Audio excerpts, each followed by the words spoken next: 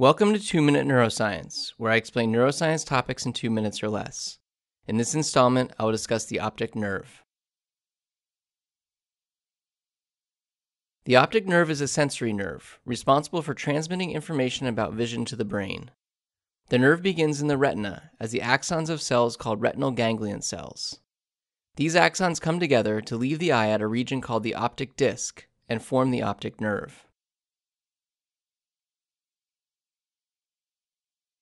The optic nerve leaves the eye and extends to a structure called the optic chiasm, where it meets the optic nerve from the other eye. At the optic chiasm, the optic nerve fibers carrying information from the sides of the retina closest to the nose cross over to the other side of the brain, while those carrying information from the sides of the retina closest to the temples remain on the side of the brain where they are. After leaving the optic chiasm, the nerve fibers are referred to as the optic tract. Most of the nerve fibers in the optic tract end in the lateral geniculate nucleus of the thalamus, and from there the information will be passed on to the visual cortex.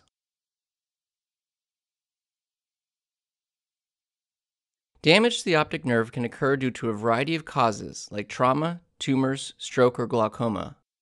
The deficit that occurs after damage depends on where the nerve is damaged and involves some degree of visual defect or anopsia. If the damage occurs before the optic chiasm, then the patient will experience blindness in the eye supplied by that optic nerve. Damage to the middle of the optic chiasm will cause loss of the lateral visual field of both eyes due to the way fibers from the nasal side of the retina cross over at this point. If the optic tract is damaged, one half of the visual field will be lost in both eyes.